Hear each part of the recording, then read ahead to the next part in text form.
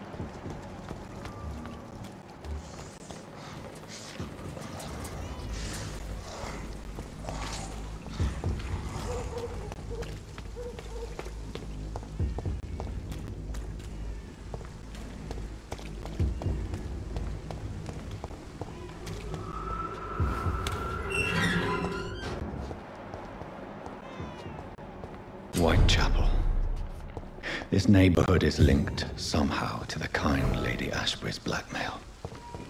First, let's find this Petrescu fellow.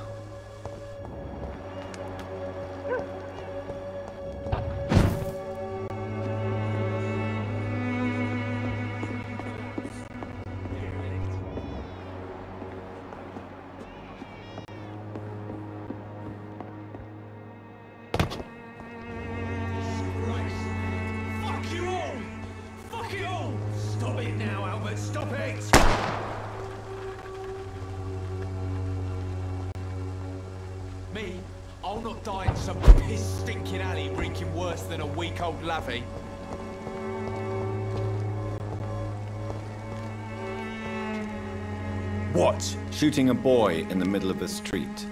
Not the best thing to do, wouldn't you say? What? You saw what happened? Wh- Who are you? I'm Dr. Reid, and I'd like to ask you a few questions if you promise me to set your gun aside. No. Look, I- I'm not a violent man. I'm Benjamin Palmer, doctor. And no one can help me. Not even you.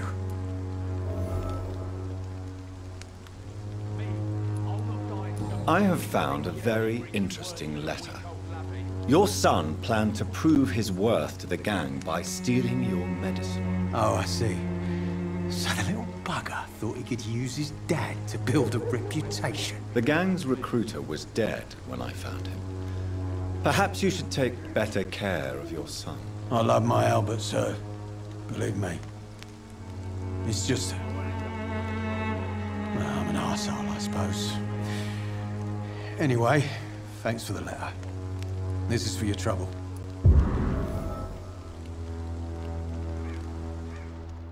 Me, die in some piss stinking alley reeking worse than a week old lavvy.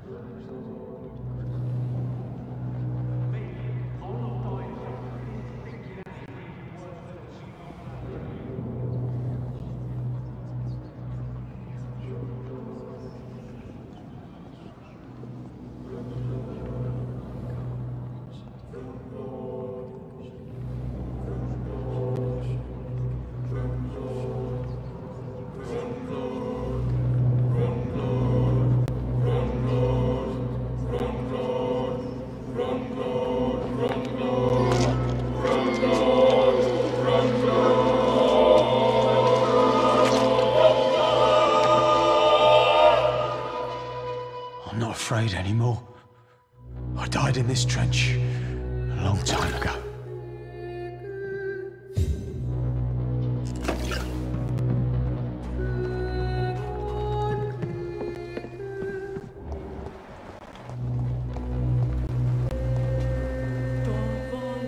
Good evening, miss. Good evening, sir. Are you interested in a miraculous cure for this unknown and deadly epidemic? Actually, I am. Then you have come to the right place. The famous Swanborough cordial is all you need to help keep you in perfect health. Oh, really? Why didn't I hear about it during my studies? I'm Jonathan Reid, by the way. Dr. Jonathan Reid. Ah, my brother has spoken of your research, sir. I'm Loretta Swanborough, and it's always a pleasure to meet a fellow healer.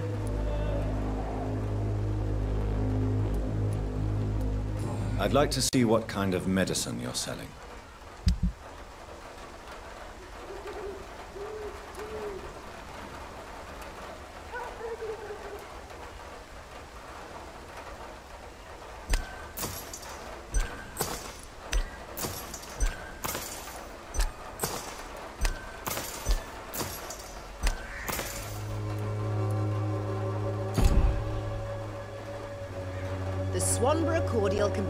Answer to all your problems. As long as you have the money.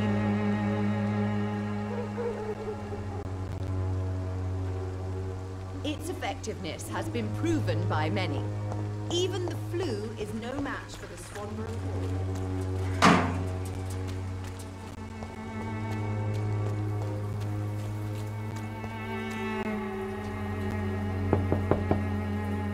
What?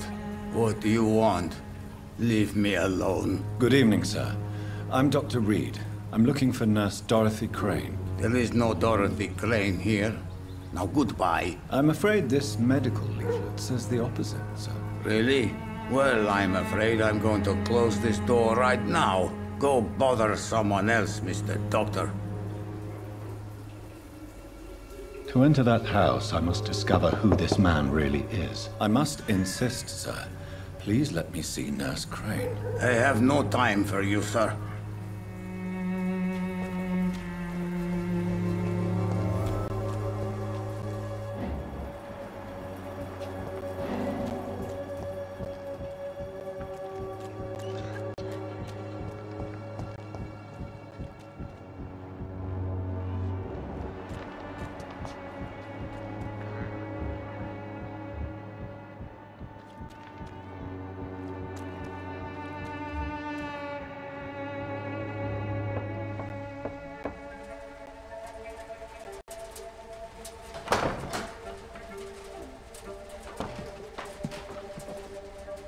Strange man was at the door with a pass for our medical facility. I refused him entry. Darius, how could you know he didn't need our help? His clothes were too finely tailored to be for Whitechapel. Perhaps just a friend of that stray poet who is always about. Richard Nithercott? No, not of the same cloth, this man. I suspect some machination from that journalist. Clayton Darby. Is he still asking questions? Yes. I saw him drifting around St. Mary's Church. I swear he is tracking me just downwind.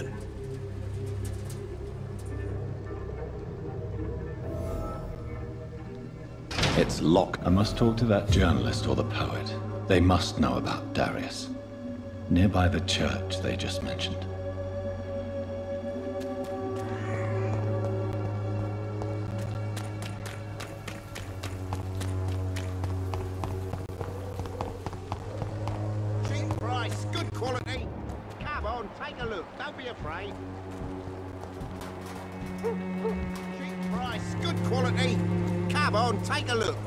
Welcome, sir. Uh, Please, take a browse of my wares. I'm Dr. Reid. I would like to ask you a few questions, if you don't mind. Doctor? Interesting. I'm Barrett Lewis. Usually I don't have time to waste with talk, but at this hour of the night I can hardly refuse.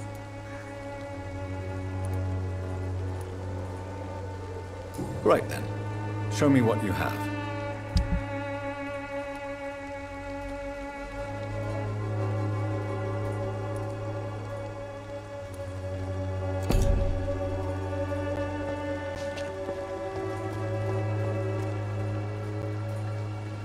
Excuse me, sir.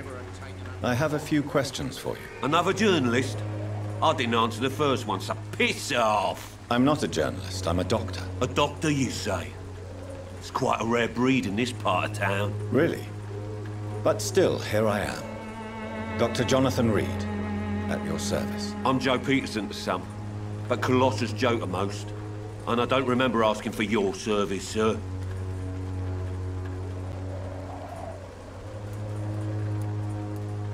Have you heard of a nurse named Dorothy Crane? She's a colleague of mine, and is supposed to live around here. Dorothy Crane. Yeah, I know her. One of the few good souls who dare to help the sick around here. Could you please tell me more about her? She's a nice girl. Tries to help the migrants. I offered to give her a hand, but she said my reputation would attract too much attention. Goodbye, Mr. Peterson.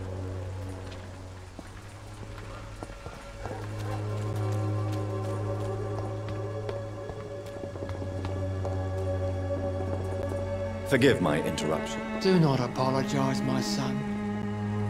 Father Tobias Whitaker is always happy to teach mortals about the incoming Armageddon. I am Dr. Jonathan Reid, and I just have a few questions. A scientist? You are much more lost than I thought, my son. I have had enough for tonight. Goodbye.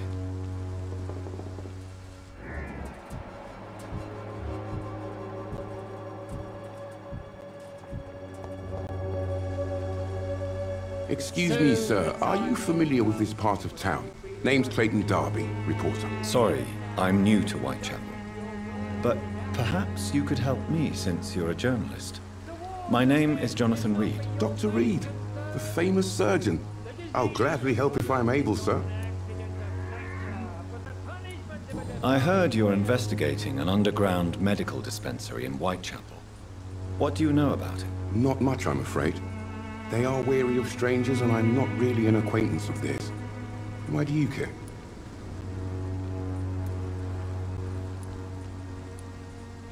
I'm afraid one of the nurses from the Pembroke Hospital may be involved with unsavory activities. Ah, could it be Dorothy Crane? Without a doubt, you are a damn fine journalist, Mr. Darby.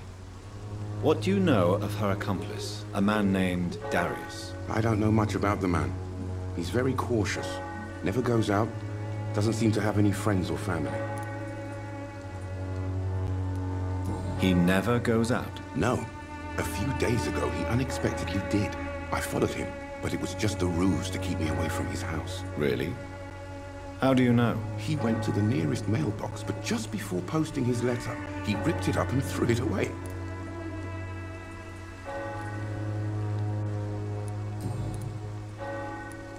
Goodbye, Mr. Darby.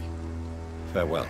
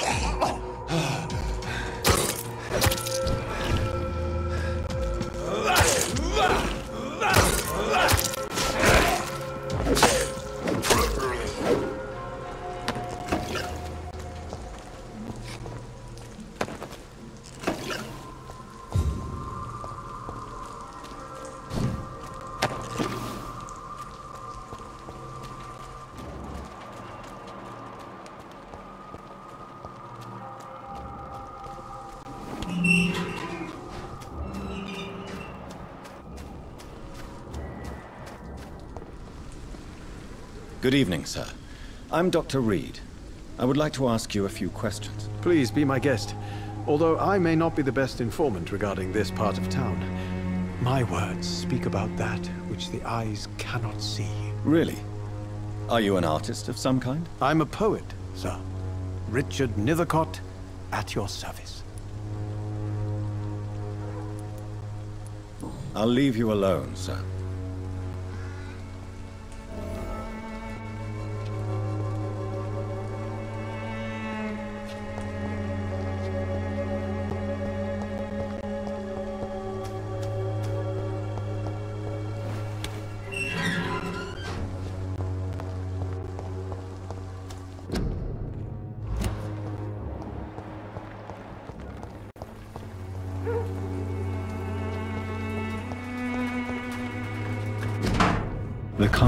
Darius' letter to his children could give me more leverage to enter.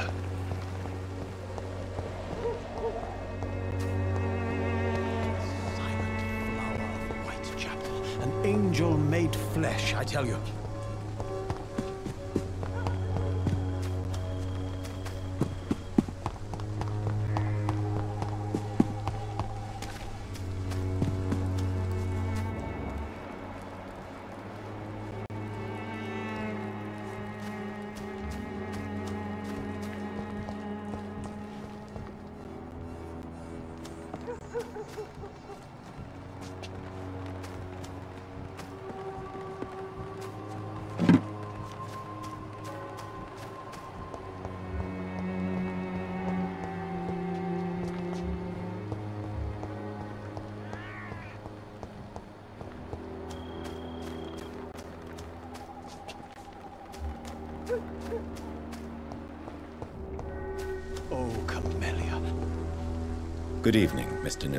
And good evening to you too, my good sir. Can I be of any help?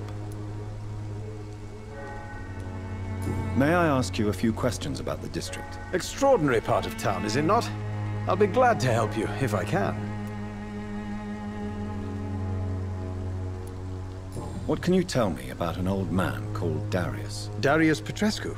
Yes, I know him. At first, I thought he was only a small publisher. I invited him to publish my work, but his reaction was pretty clear. Not interested in your talent? Darius is an old political activist who takes delight in printing tracts and lampoons. Those communist activities only require mediocre writing skills.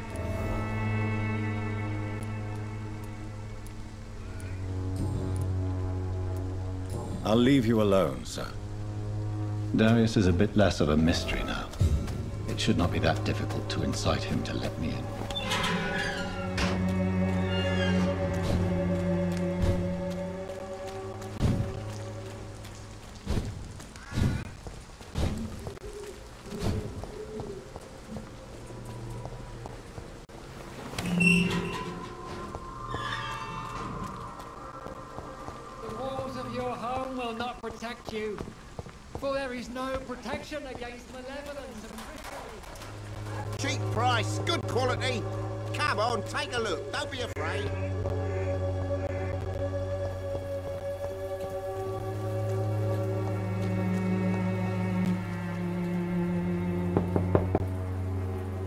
Mr. Petrescu, just one minute, please. You again. Go away.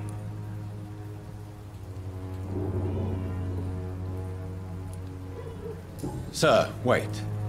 Stop this nonsense. I know Nurse Crane is here.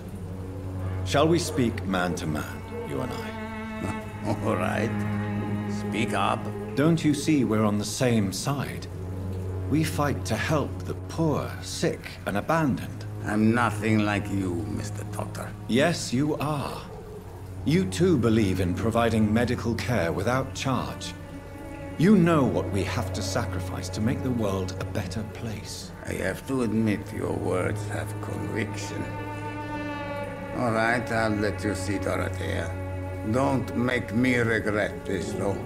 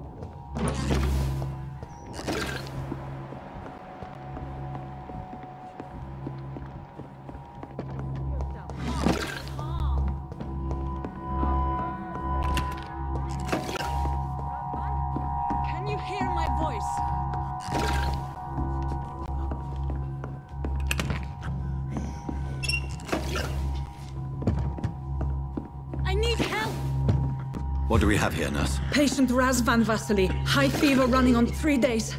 Complaints of dizziness, muscle aches, and head pain. Diagnosed with influenza. Treatment? Aspirin and salicin for the fever and discomfort. Liquids for dehydration, but he's having trouble keeping even water down.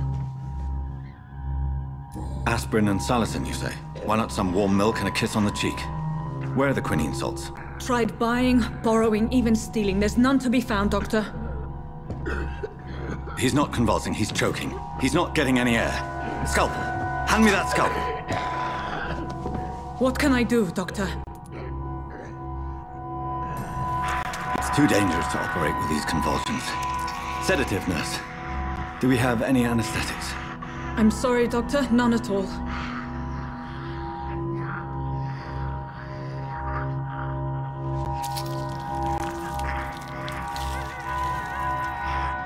I need to perform a tracheostomy. Short pipe. That rubber tube will do. We're going to cut a passage for air through the neck. Yes, Doctor. He's breathing again, but he's coughing up blood. Internal hemorrhaging. I need to make another incision into the chest cavity to drain the fluids from the lung. Prepare another tube. A thoracostomy. Doctor, we've nothing to fight the infection. We need an aseptic environment. Don't question me, nurse. I need a drain. Now. Yes, Doctor.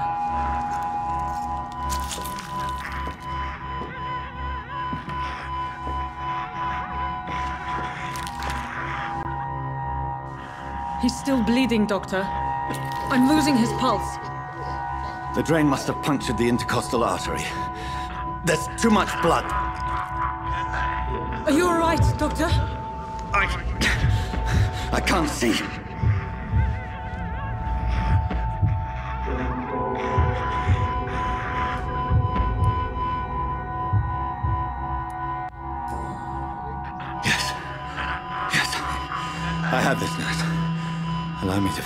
Alone.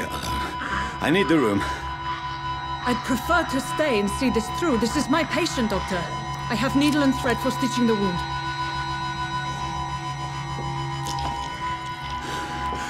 Good. The stitches are holding. How's he doing? We're losing him. We've lost his pulse. He's dying, Doctor!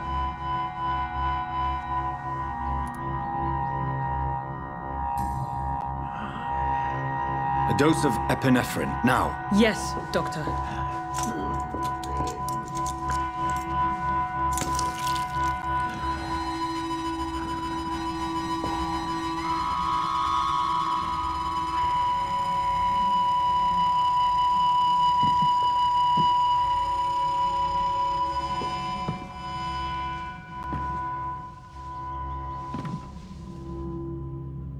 We've lost the pulse. He. he's gone, Doctor. Yes. we did everything we could. Truly? Everything you could. Is that how you'll report this in your log? Is this how the war went? Piling up one poor corpse beside the next? This was not an influenza-induced seizure. I've never seen symptoms like these on the continent. Neither have I. But the previous symptoms leading up to this attack were the same, indistinguishable from the epidemic. No. There was something more vile in these reactions. Something... primitive. There have been numerous reports of mental breakdowns caused by the fever that accompanies the flu itself, Doctor. Yes, but... I'd best take some samples of the blood for analysis.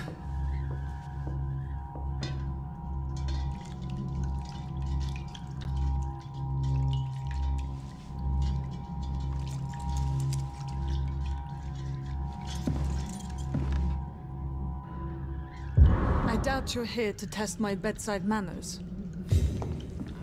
I suspect it was more than intuition alone that led you to us. So, how might I be of service, Dr. Reid?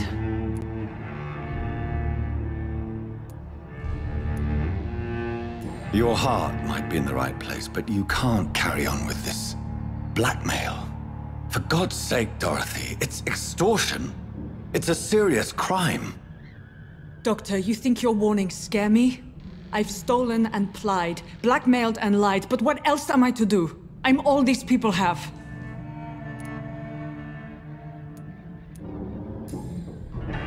You've convinced me of the sincerity of your actions and their noble justifications.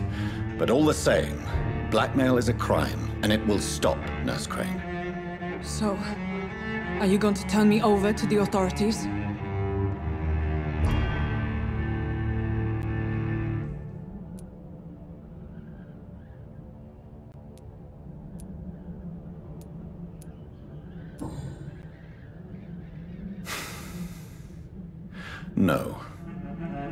Place is here. Jailing you would be an even greater crime. So, here is my proposition. I'll look the other way on your little enterprise. In exchange, you will resign from the Pembroke Hospital and provide me with medical supplies when the need arises. Dr. Reid! That sounds like a business proposition. My accomplice, then. No, just a privileged client. My research may require the occasional rare piece of equipment or ingredient. I'll pay good coin in exchange, fair and honest, to help finance your noble endeavors.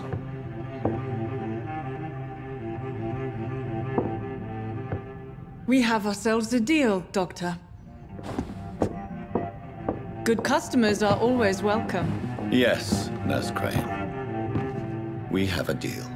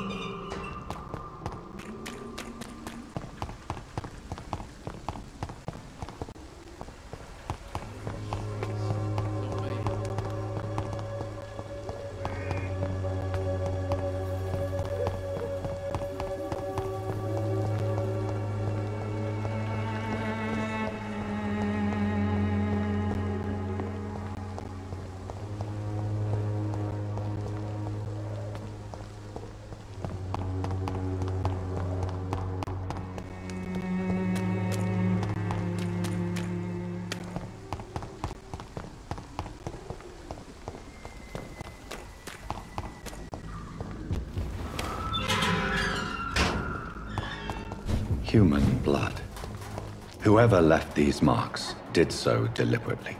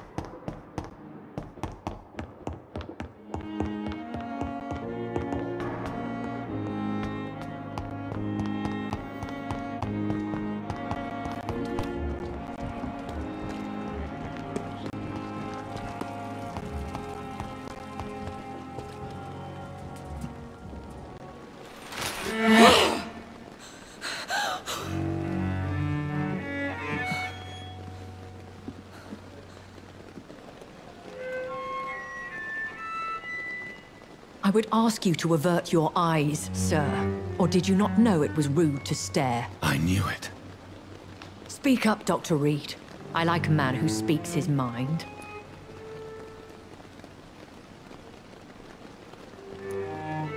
What prevails in the end, I wonder? The desire for blood, or to be of service to man?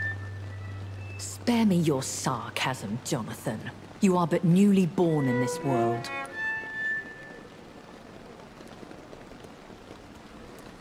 So in the end, the accusation was true, wasn't it? The situation is somewhat awkward nonetheless. I have not been observed sustaining myself for many decades. I have to say I'm a trifle embarrassed. Anyway, I have concluded my inquiries concerning your blackmailer. I see. Please excuse my agitated state. Under normal circumstances, I wouldn't let anyone see me in this condition. I must confess I have not put an end to the blackmail, my lady. Unfortunately, I could not bring myself to do it. I'm so disappointed in you, Jonathan. I didn't expect this from you. Lady Ashbury, you yourself admitted how ridiculous the sum of money was. I can assure you, it was all used for charitable ends. Well, you are full of surprises, aren't you, Jonathan? All right. Say I trust you. But you will still pay the ransom. That is only fair. After all, it was you who failed to bring this problem to a satisfactory conclusion. I believe I could agree to that. And since a lady always keeps her promises, I will now answer any questions you may have. I bid you farewell. For now, my lady. I must quickly analyze the blood I took from Nurse Crane's patient.